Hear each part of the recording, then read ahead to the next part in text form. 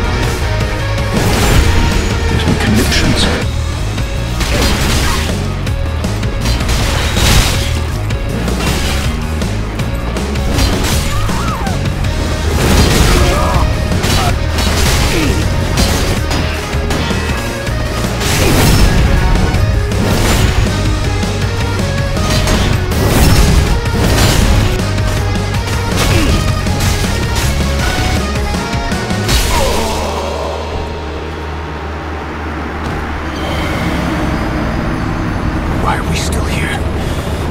Just to suffer?